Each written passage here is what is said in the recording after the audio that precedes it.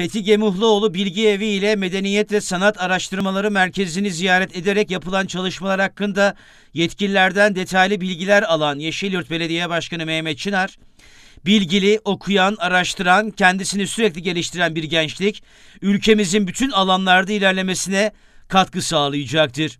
Güçlülerin değil, haklıların kazandığı, adaletin hakim olduğu bir dünya düzen oluşumunda sorumluluk sahibi, bilgili, güvenilir, yol gösterici ve eğitim düzeyi yüksek gençlerimiz aktif rol oynayacaktır diye konuştu.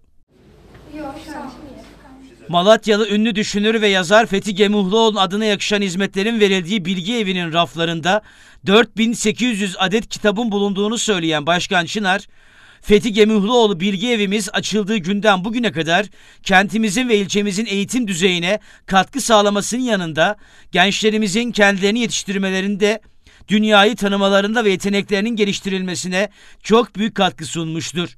Medeniyet ve Sanat Araştırmaları Merkezimizde ise lisans ve lisansüstü öğrencilere akademik destek veren eğitim programları haricinde yaz ve güz seminerleri düzenliyoruz. Türkiye'nin farklı üniversitelerinden davet ettiğimiz 14 öğretim görevlimizi yönetiminde 3 ay sürecek olan güz seminerleri programımıza 11 Ekim'de başlayacağız diye konuştu.